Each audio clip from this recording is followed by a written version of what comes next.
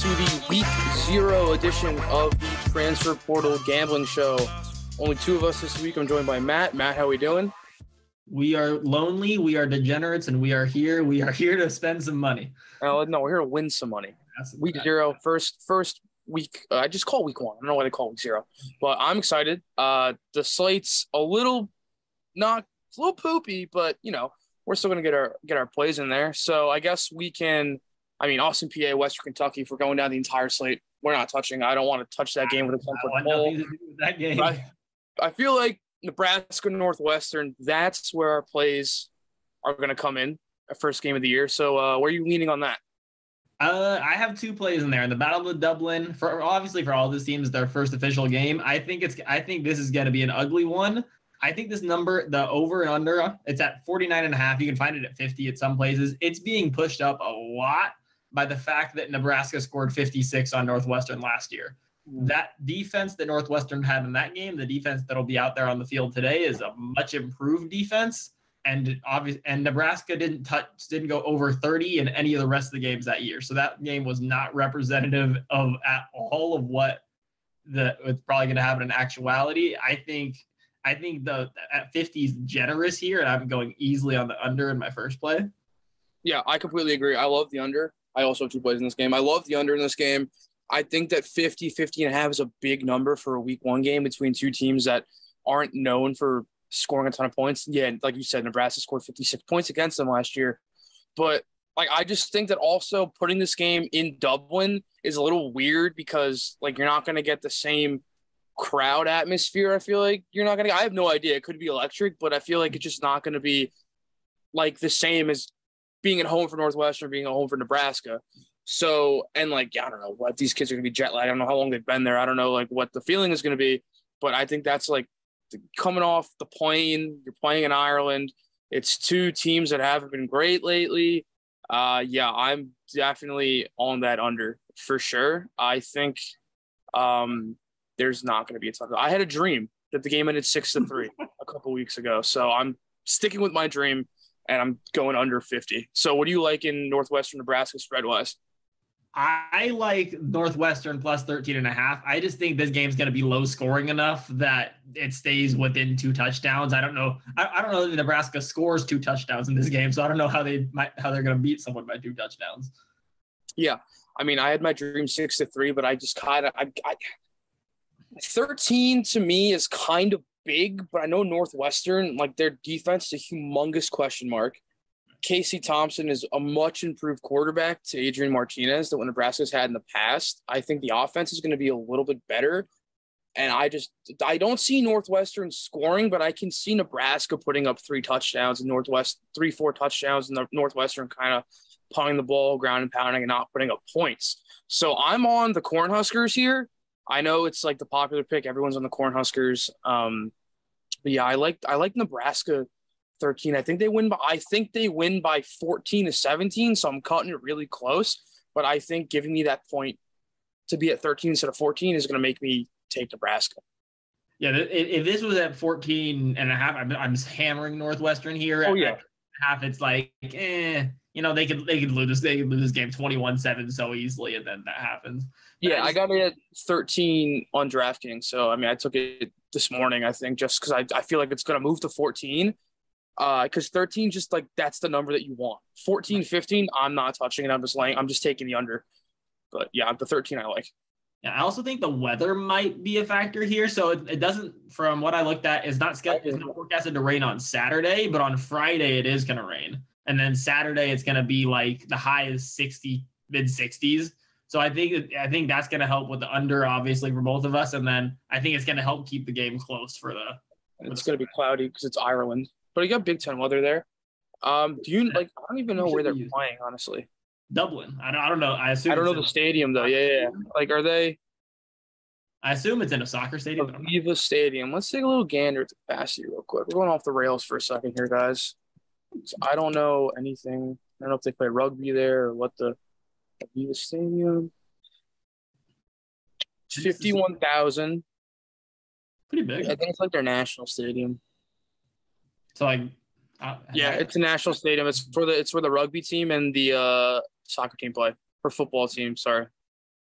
um, yeah. So I'm on Nebraska. Matt's on Northwestern, and we're both on the under to start the week. Uh, Idaho State UNLV again. Not going to touch that ten foot pole. Um, no idea. I don't even know the, the lines for the FCS games aren't even out yet, so we're just gonna kind of skip over those. I'll bring them up.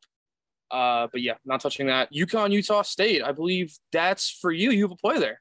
I do. I have Utah State minus 27 and a half. I just think this UConn team is miserable. They've got they finally got rid of Randy Edsall after a miserable, miserable couple of years. I think it went six and 36 and something terrible like that. And they bring in Jim Jim Mora Jr., who had a respectable stint at USC. However, this is like so he he rebuilt some things at UCLA, not USC. I said USC at UCLA, but I think this rebuild is tenfold in difficulty in terms of what they have there. I think from what I'm I'm hearing, Ta'Quan Roberson is going to be the starter. My guy. What, what, I remember at Penn State, he he wasn't great when he was on the field. You you could speak more to that. He was very you not great is like that's you being nice. He was bad when he played for us. Yeah, but maybe, maybe a change of scenery is what he needed. And then UConn also lost by far its best player on either side of the ball in Travis Jones. He did the draft last year. He's a third round pick. So they're, they're, that defense is going to be struggling up front. And I just think this Aggie squad is far superior. I think they're they're they're going to compete in the Mountain West with Boise and with Air Force. And I think Logan Bonner is just going to run up the score on this team and put him put him to bed pretty quickly. Yeah. So for me, I kind of I'm I'm not this is not an official play for me. I'm obviously going to lean Utah State. You brought up some good points, and for me, like uh, like a running narrative that I'm going to have for like this week's show, week one, when like it's these early games. I really do feel like travel takes a toll on these kids because going from UConn to Utah, that's like that's a long that's a long like travel day. Like it's not a quick flight, and then like Utah State, they don't have to go anywhere and they're just they're just a better football team. UConn is I'm a le- I'm leaning Utah State minus 27. We'll see where I'm at around four o'clock. Not going to be an official play for me, but I that's a lean for sure because I do not trust the Huskies whatsoever. It's a big spread, but deservedly so. Like you can't come out and tell them it's a two touchdown spread early for this team. Yeah, like U- UConn won one game last year, and it, they they should have lost every game they were in by probably twenty. Yeah, so it's going to be tough season for them. Yeah. And let's move on. I believe the next game on the slate is Wyoming, Illinois. I don't think we have anything for that, right? I'd lean Illinois here. Wyoming has a good enough defense that I stayed. I mean, Wyoming always has a good defense that I stayed far enough away that uh, maybe Illinois doesn't pull away by 10, but I would lean to minus 10 here, but it's close. Yeah. I mean, I, you know, the only thing I know about Wyoming football is Josh Allen went there. Illinois ripped my heart out last year. I believe Sitkowski's the quarterback this year. I haven't really been keeping up with the Fighting Illini, but uh, yeah, I I mean that's kind of a no play for me. But Matt's leaning Illinois minus eleven. I think that's probably a, giving the benefit of the doubt at home. Uh, Wyoming coming in there. Duquesne, Florida State. That is a no play because, uh, yeah, I, just, I don't know anything about Duquesne. I mean, Duke, who Duquesne beat last year? Pitt. Yeah. Who they beat? Oh, was it? I think it was Pitt. I think it was Pitt, right? Duquesne yeah. just, just recruited Bryce James, so big ups to them on that. Yeah. Big, big, big moves for the Dukes basketball program. Duquesne Dukes football. I believe it was Pitt. That was a terrible loss for them. Let's see. This is great radio right now. I can't even find it. Um, Maybe it wasn't last year. Beat Ohio. That's what that's what it was. It was Ohio because on the Max show, I knew they beat somebody I talked about. Yeah, they beat Ohio. I don't think they beat Florida State. Uh, next play, Charlotte FAU. I don't know if you've played this, but I'm on FAU. Get uh, giving the touchdown. I'll take the touchdown. Um, I just think FAU is a better team than Charlotte. They both went five and seven last year, missed a bowl. But last year, FAU beat Charlotte 38 to 9 on the road, easily covering the spread. Uh, N'Kosi Perry, the old Miami quarterback, is under center for the Owls. Willie Taggart's still their head coach. I just think that they're just think that they are a better team. I think a touchdown is like right where it should be at. Uh, Charlotte's quarterback Chris Reynolds is he's all right. He averaged 246 in the air last year and didn't throw a ton of picks, 26 touchdowns. So he's like a solid uh, power five guy, but he did not play well against FAU. Threw for 219 and two picks. And I just think that FAU's FAU's defense, uh, they only have 21 points a game. So I mean, coming off, they're going to come out firing. Uh, I think Florida Atlantic will easily cover the seven at home. Yeah, I, I, would agree. Like they, they both went five and seven, but I think FAU's due for a big bounce back here because like two of the past five years they were 10, 11 win team. So like the, the five and seven kind of came out of the blue. I think they should be competing for a bowl this this year, and I, I think they're a far superior team. I, so I don't have an official play on minus seven, but that was what I when I first saw the spread, I was like, yeah, FAU. Yeah, I think the total. I mean, I was looking at the over too, the total, but again, like Charlotte put up no points against them last year. So if I were to take another play, it'd be the I'd lean the over, but I'm definitely on that touchdown for FAU. Um, I think that's going to be a fun game. CBS Sports tune in because I don't think there's any. Yeah, there's a, that's the only seven o'clock game on Saturday, so I'm sure it'll be on my TV.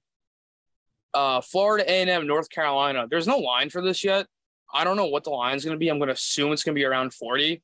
Um, if I can find it, if I can take it, if I can put it up on tally site, whatever, I'm going to take the UNC spread, whatever it is. Uh, uh, Florida A&M has I, I just know Florida A&M. They got great jerseys, great logo, Rattlers, sick name. But when they play like Power Five schools, they just constantly get crushed. And I think UNC is having a bounce back here this year. I think Drake Maye is going to be really, really good for them. So if it's, I mean, give me 35 on this if that's what it comes out to. Uh, whatever that spread is that comes out, I'm taking UNC. This is gonna this this will probably be one when the spread comes out that I'll be on the first half just like give me my minus yeah. 27 and a half, 21, 21, whatever it is. Give, give me them to get blown out in the first half and I'll ride with that. Let's check. Does Action have anything out yet? I, I when I looked, I couldn't find anything. Yeah, it's not on any of the sports books. Again, I don't know how this like. It's kind of weird because they have none of the FCS games are out yet. Yeah, no sports books are giving it yet. Yeah. Uh, yeah. I mean, that first half play is good as well. I think that might actually be a better play now that I think about it because you don't know how these guys are gonna these uh like third, fourth stringers are gonna perform. But we'll see what it is. But yeah, I think first half and the spread are good plays for that game. Um, UTEP in North Texas. You got anything there? No, I think I think the books have them bright. This one, I think North, last I looked, North Texas was minus one. I think this is a pick 'em. This is a toss up to me. I don't know. I, I, I don't have it. I don't I don't have any big lean on which team I think is better here. I think this is going to be a close game right down to the wire. So I think the yeah. Bucks have here. Yeah, I completely agree. I mean, it's going to be. Is it on? Like yes, I don't know. It's a it's a nine o'clock game. I think like even is right where it should be at. UTEP is trying to fill up the Sun Bowl. I think they're doing an orange ad or something. Um, this is probably a game I'm going to try to catch live. It's going to be a great game because these are two of the better teams in that conference. Uh, UTEP had one of their better years in I think it's the first time they made a bowl last year, so first time in like 80 years or whatever, but they were really good last year. North Texas, um, just they, they're they very, very potent offense. Uh, last year they didn't score a ton of points. I think they combined for like 35, maybe underneath 35, somewhere around there. So I'm not like I exactly I don't have any plays, but I'll probably try to catch something, or maybe I get a few beverages in me. I go for the over. We'll see. But uh, I think that's definitely going to be a fun game to watch. If I bet anything here, it'd literally be North Texas, and it'd be entirely based off of uh, their their basketball team won me so much money last year. Oh yeah, because North, North Texas unders they were the slowest basketball team oh. in terms of pace, what by like ten points. So like they would like their so normal totals are like 120, 130, and like a power five. The, they theirs were like 190, and you just hammer the under and it hit anyways. Yeah. Yeah, I mean, I do remember that because I would also. I mean, yeah, I mean, college basketball. That's those under. I love taking the big unders, the small, like because I know that they uh they beat Purdue a couple years ago in basketball or Texas. Yeah, that was awesome. They're they're a good basketball program. They're a solid Power Five program in football. But uh, that'll be a fun game. No uh, official plays from us. So we'll move on to the next. We got two more games on the slate. I think that's how many are there? One, two, three, four, five, six, seven, eight, nine, 11, 11. So we've gone through nine. Nevada, New Mexico State at Nevada. This is nationally televised, 10 p.m. on ESPN2. This one, I'm I'd lean Nevada just because I, I, New Mexico State. I don't think they're a good football team, but I, I just don't know what this Nevada team's going to look like with with without Carson Strong, without Romeo Doubs. I think this team is going to look so much different I, that I just don't know what they look like. That I'm not going to go towards minus nine because this spread dropped like crazy when the, when the spread came out for this game. I think it was minus 17 and a half, and it's dropped all the way down to nine and a half now. So 17 and a half is a crazy number. Nine and a half is more more reasonable and I'd still lean the nine and a half here, but it's just I don't know what they're gonna look like. Yeah, I mean, I, I, I yeah, I definitely dropped a lot. Dropping was at eight points is kind of nuts. Um, I, I, I, I'm gonna get a nine. I'm gonna get a nine. Excuse me. Uh, I like the Wolfpack here just solely because I just think New Mexico State's one of the worst programs in the country. Uh, you, there's like you said, ton of uncertainty, uncertainty with Nevada. No Carson Strong, no Romeo Doubs. Dubs, however you pronounce his name. Um, that's my guy. Go pack. But yeah, um, it's it's it's gonna be nationally televised. I'm just gonna take it because last year they stomped them. I think they beat them like 55 to 20 something. They beat them by five scores and uh nine is small. I mean, the problem is I looked it up and they have no starters. They haven't announced a starting quarterback. They haven't announced a starting running back. Their receivers are all up for grabs who's playing XYZ. Uh, it's just like it's kind of tough to take a team when you don't know who's starting for them before the game even starts. But I'm going to take a shot with the nine. That's going to be an official play for me, just because I don't think New Mexico State is. It's it's it's week one, and I just it's week zero, and I just I just think they're a bad program. So I'm going to take the nine with the Wolfpack and we're talking about all this turnover with Nevada. New Mexico State's facing its own fair share of turnover. They have a new head coach mm-hmm. too, new new starters in a lot of positions. So it's not like they're some established team that just like knows exactly what we know exactly what they're going to look like. We know they're probably going to be bad, but we just we still we don't know what they're going to look like either. So it, all this uncertainty we're talking about with Nevada, that's the same with New Mexico State. So mm-hmm. I I like your shot in the dark. I think that's where you find value sometimes, and just the spreads come down because we don't know what Nevada's going to look like. So take it at nine, see what see what we get. Yeah, I mean, worst case, it's, it's speaks here. I'll, I'll build I'll build my credit back up. But yeah, uh, on Nevada there. Last game of the last game of the week. This is probably the game I'm most excited for, just because I love watching Hawaii football. Hawaii Vanderbilt. Um, Vanderbilt going to Hawaii to me is hilarious that they couldn't get Hawaii to come to them. But yeah, Vanderbilt Hawaii. What you got? I I have I have the Hawaii spread here and I have the Hawaii money line here. I'm excited to see what this Hawaii team look like because from what I'm hearing, their offense is going to be run and gun and it is going to be fun. This is another play where I'm interested in Hawaii everywhere. So a fun little stat I looked I found out about Vanderbilt when I was researching this. They were minus 105 in first quarter scoring differential last year. They were outscored 134 to 29. So don't be surprised if this Hawaii offense with their run and gun style comes out and just puts up points in a hurry and Van, Vanderbilt just can't catch up because they averaged 15 points a game last year. Hawaii can if if this run and gun offense is legit, they can do that in a quarter. And then Vanderbilt just can't catch up. Vander, this and this Vanderbilt team won two games last year by combined five points to a miserable UConn team and a nearly as bad Colorado State team. Like Vanderbilt is awful. Give me Hawaii. Yeah, I'm completely on board with you. I'm all over Hawaii. I'm definitely I'm all over that plus eight. I like the fact that it went from seven to eight makes me ecstatic. Uh, this is a fun little stat that I uh, shout out uh, Barstool Sportsbook. Their bet stats: uh, Hawaii in their last twelve openers, eleven to one against the spread. So the football guys are telling me that Hawaii is a good play here. Uh, I I get you got to give Vanderbilt the touchdown because they're an SCS school. SEC school, excuse me. Wow, that was really bad. Cut that out. In SEC school. Um, you got to give them the touchdown. I like Hawaii's gonna run and gun it. it. They're just like, it's just gonna be a fun game to watch. And again, like I said before, with the Connecticut, uh, Utah State game, Vanderbilt's got to go all the way to Hawaii. Nashville, Hawaii is not an easy trip. And That's Hawaii, these kids have been in Hawaii. It's gonna be. I'm gonna assume it's gonna be hot. Let me let me check the weather. I would assume. It's Hawaii. It's, it's pro- yeah. It's I mean it's hot in New York. Like it's got to be hot in Honolulu.